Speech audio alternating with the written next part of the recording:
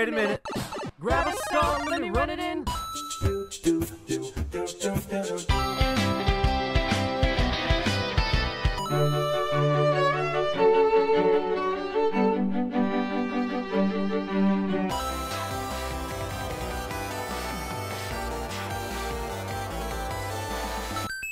Here we go.